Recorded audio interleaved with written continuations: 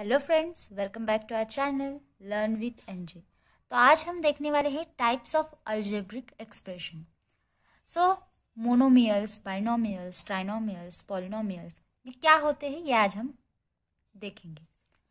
Monomials मतलब क्या? Expressions with one term तो ऐसे एक्सप्रेशंस जिनकी एक ही टर्म होती है।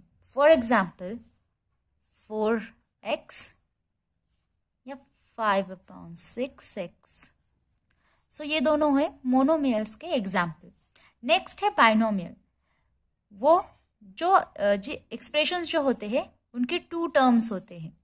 जैसे ये वन टर्म का मोनोमियल तो ऐसे ही टू टर्म्स होते हैं, वो होते हैं binomial for example two x minus three y and one more example is two m n minus five m square n third होता है trinomials expressions with three terms so जिसके थ्री टर्म्स होते हैं, वो होते हैं trinomials for example a plus b plus c one more example देखेंगे. Eight a cube minus five a square b plus c so ये दोनों भी ट्राइनोमियल्स के एग्ज़ाम्पल हैं.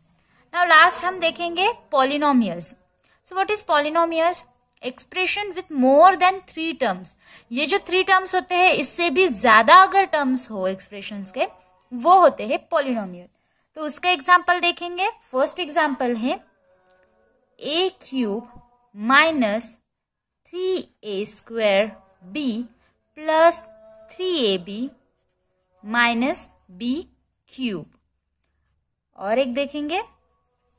Five x then minus one upon two x plus eight x cube minus five तो ये दोनों भी पॉलिनोमियल के एग्ज़ाम्पल हैं।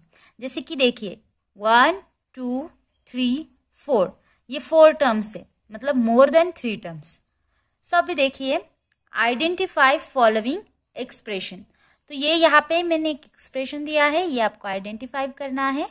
और ये कौन से टाइप में आएगा? मोनोमियल बाइनोमियल ट्राइनोमियल या पोलिनोमियल ये आंसर आपको देना है कमेंट में।